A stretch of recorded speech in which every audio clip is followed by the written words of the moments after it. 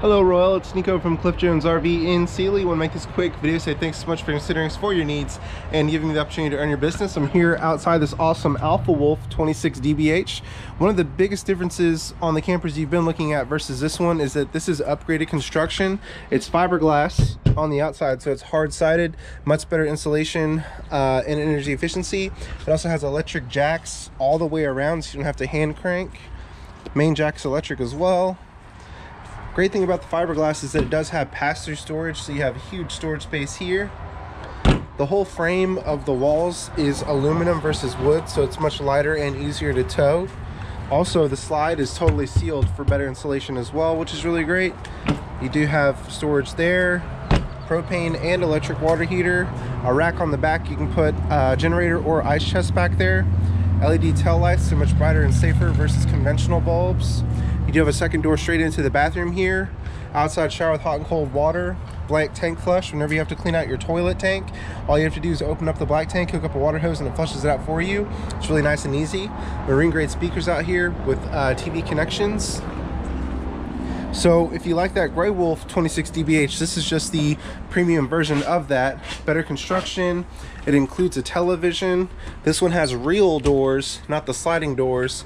And you can actually walk around the bed. On the other models, the bed is right up against the wall. But with this one, you can walk around the bed. It makes it easier and because you have real doors you have a TV mount here. With those sliding doors the doors come in and you have to constantly take your TV off and on. Uh, but with this one it's much better. Also the slide is a flush floor slide so that gives you more headroom. The other ones have a step up. This is a futon uh, turns into a bed. Also the dinette uh, turns into a bed as well. You have storage underneath and you have room for the whole family to enjoy a meal play a game whatever you want to do here you also have two double bunks, very comfortable. They're teddy bear mattresses. You have a window on top to open things up and a window on bottom, which is really great.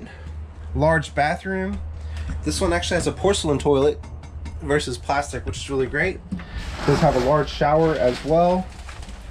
Plenty of headroom with the skylight. Medicine cabinet here. Grounded power connections for blow dryer trimmer, whatever you need. Big pantry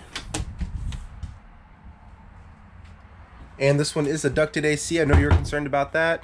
Um, having ducted AC is, you know, important, but what's even more important is the construction. So with this one, with the block foam insulation, it'll keep it plenty cool during the summer and nice and warm during the winter. And with this AC, you do have control. If everybody's sitting in the living room, you can open this up. It drops all the cold air. If you want to circulate it, you can close it, which is really nice. It does have residential power microwave. It'll very quickly and evenly heat food, as well as a range hood that actually works. It will vent outside. You do have a uh, three burner cooktop here, rear two are for simmering, front one's for boiling.